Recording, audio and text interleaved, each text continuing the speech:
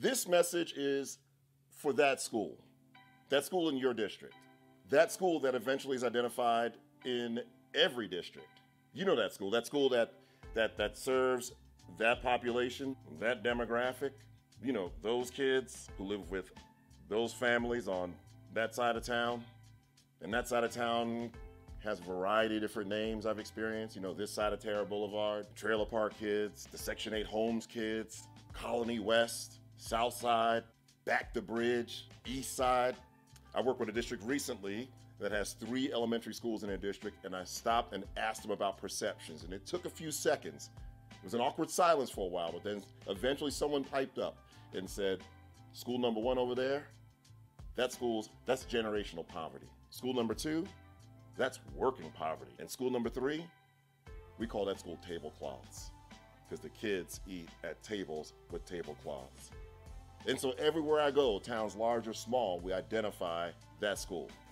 I've had the honor of working with hundreds of schools and thousands of teachers, teams, and leaders at that school in every corner of the country, every nook and cranny of North America.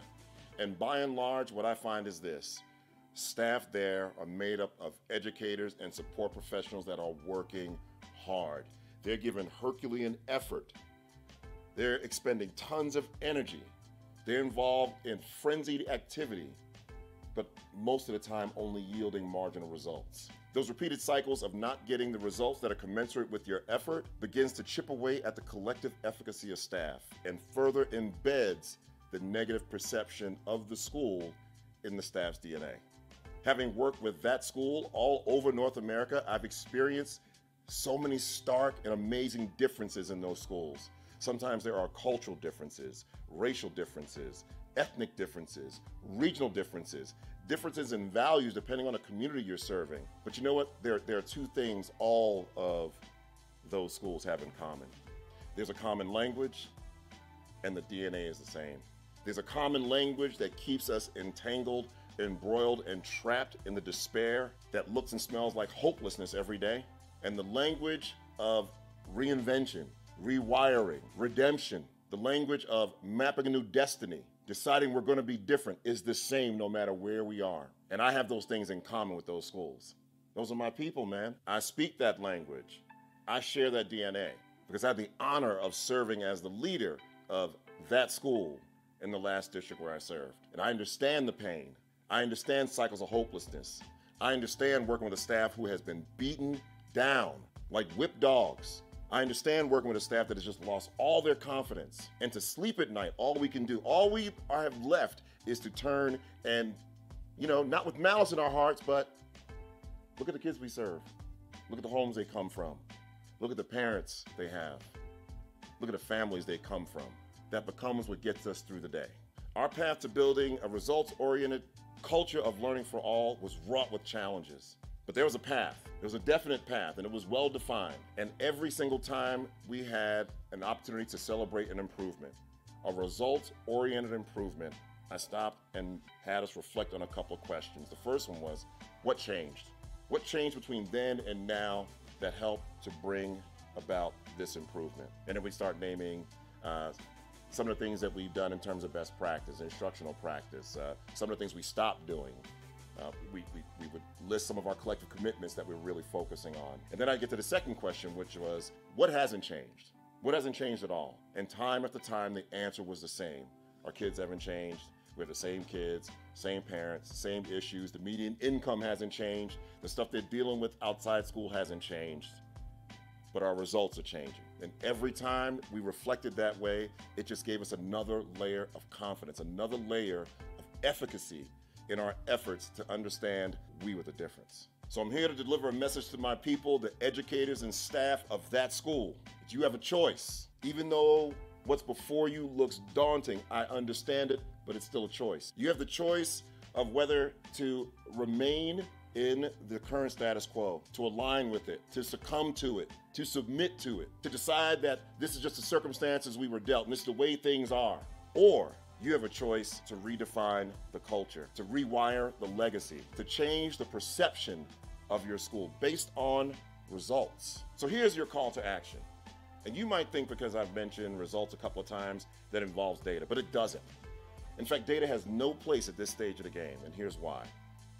For every piece of data I could gather that supported the notion that you have what it takes collectively to rewire your legacy, to redefine the culture at your school, to change the perception, and embed in the DNA of your school a culture of learning for all. Someone who wants to maintain the status quo could gather just as much data to justify why things are the way they are and should remain the way they are. And so data has no place at this point. In fact, at this point, your only call to action is to make a decision.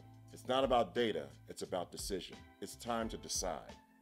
About 30 years ago, I had an epiphany that completely changed my life. I have no idea how Webster defines decide, but I'm gonna give you the unfold the soul definition of decide. In this dream, I saw the word in block letters, and then I saw the D and the E separate from the C-I-D-E, decide. And it prompted me to think about what I believe is a suffix, C-I-D-E. Think about all the words that have that same suffix. Suicide, herbicide, pesticide, all those words connote death. And so in that moment, my epiphany was this.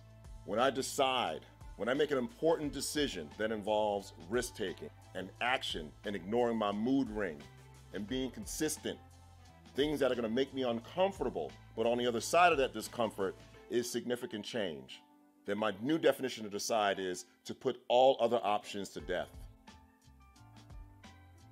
To put all other options to death. All you need to decide today is we're going to be better. We are changing the legacy of the school. We are reshaping the perception. We're going to lean into each other's collective talent and bring forth our greatness, and then in turn, bring forth the greatness of our students. And the beauty of this is you don't have to have the answers. You don't even have to have the next step in place. All those things will be revealed to you once you make the decision. You can't tiptoe it. You can't stick one foot in it. You can't back into this one. You can't tap dance around it.